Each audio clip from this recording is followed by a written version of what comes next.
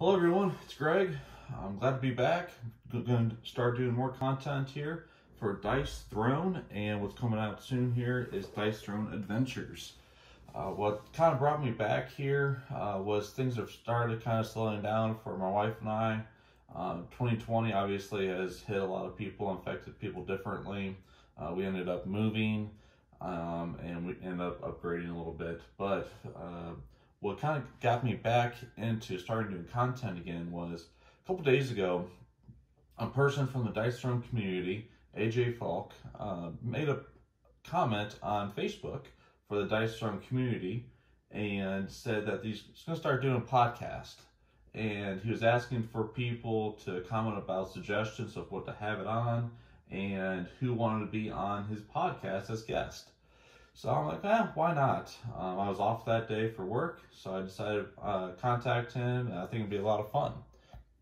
And so I told him about a couple ideas, and the one that stuck was the Paladin and how the Paladin operated his uh, good and not as good things about him. And he decided to take me on, and I was actually on his very first uh, podcast for the Dice Throne podcast. So I uh, highly suggest you go check it out, follow him, subscribe to him. Uh, very friendly person, and it was a whole lot of fun. Um, I this is not to take away from what he's doing at all, and in fact, I hope he does a fantastic job. That a lot of people follow and enjoy the content that he's going to be putting out here in the future and I hope he does way better uh, than me and my content because um, ideally I'm doing well, and ideally he would be doing even better. And on uh, this game is very friendly oriented, family oriented, and uh, I'm not looking to compete at all, but just provide uh, supplemental content for Dice Throne. Um, the way that I got into it, into Dice Throne, was back in 2018 uh, for Christmas, I found this Dice Throne game, which you're seeing in front of you right now.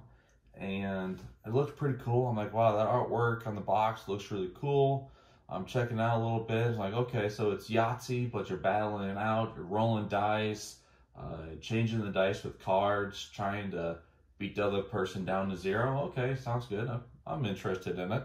So I asked for it for Christmas, and uh, was lucky enough to get it from my parents, and so we opened it up Christmas Day in the morning and whatnot. And come later that day, actually that night, right around I don't know nine o'clock, ten o'clock at night, uh, get to my wife Michaela and we're like, hey, do you want to break this out and see what it uh, looks like and play a couple games? Um, and we're like, yeah, why not? So we broke it out, looked it over the rules. The rules were really simple to follow. Um, you roll dice three times, just like Yahtzee, and you try to make matches to what you have on your player board. okay, sounds good. And all of a sudden, it was 2 a.m. Uh, we played every single character multiple times. These games last 20 to 40 minutes, and it was so much fun. Um, and we have continued to play it throughout uh, since now or till now, and will continue to. And it was just so much fun to roll the dice and try to get that one combo or that one die roll to do your ultimate attack on someone. Uh, it was beyond fun. And the organization of the game itself, how everything really stacked up nice. Uh, the artwork was fantastic. Uh, enjoyed rolling dice, a whole lot of fun.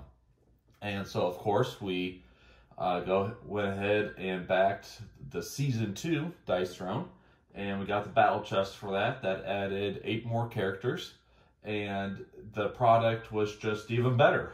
Uh, the, it was just fantastic. We thought it was already a good game, and then they just went ahead and made it better. The organization so much better, and now they're coming out with the Dice Throne Adventures and we're like, well, we have to back this. And they're making the content and product even better, uh, which is just mind boggling for me. Um, I love this game. This is probably my favorite game. Um, this is just fantastic. I'm really excited for Dice Throne Adventures. So that's how I got into Dice Throne. Um, I'd be more than interested to hear how you got into it, how long you've been playing, how you've been doing any tournaments, or you're new to the game, what have you. Um, this channel is oriented more towards those that are newer to the game that want to learn more about it than those that are advanced players. But if you are advanced, uh, be happy to get your comments in on something and your ideas on what the content uh, is providing. Uh, originally, this game, as on the box says, was created by Nate Chandler and Manny Trembley. And then came along Gavin Brown as well and Roxley. And they have a fantastic business idea. Um, and I've never heard of bad business from them at all. If there has any been, if there's ever been any product uh, issues, those product issues have been uh, satisfied for the customer. Um, every single time um, when you manufacture a lot of dice, a lot of product, you're obviously going to have those uh, misfits for product and they take care of it every single time. In fact, they're so customer friendly.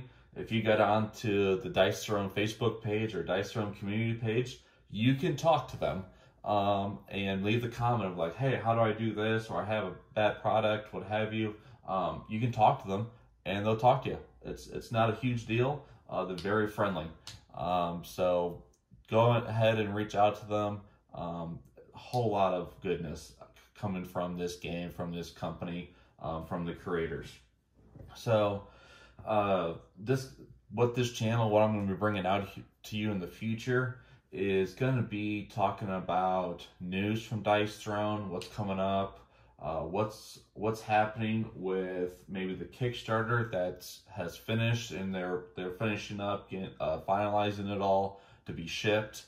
Uh, this is going to be a very informative uh, channel. I've looked at a lot of games, a lot of YouTube's uh, videos over different games and whatnot, and I want to bring more of a news to it. It's kind of like the podcast that AJ is doing. I really don't want to take away from what he's doing at all, and uh, he's going to be doing a fantastic job. I know it's, and if he ever wanted, uh, if I uh, asked him to come on and uh, maybe play a game or something online and then talk about it afterwards for the YouTube, I think that'd be uh, really fun to do. Um, different ways that you can access this game. Um, is either through buying it through uh, Amazon, any online marketing, what have you, or going to like a Barnes and Noble, um, maybe a Target, Walmart, what have you, major retailers, they may, they may have this game. Uh, I'm about eight minutes right now. This is about as much as I want to do for this uh, revamping of this channel for Dice Throne. My next video, I'm going to be talking about more of how to access Dice Throne, different ways to purchase it, what may be the right fit for you. Um, also going to be talking about Dice Throne Adventures, what's happening now, what's going to be coming up soon, what to look forward to. So uh, stay tuned. Um, go ahead and hit the subscribe button notification uh, if you want to stay up to date with content for Dice Throne and Dice Throne Adventures. Thank you.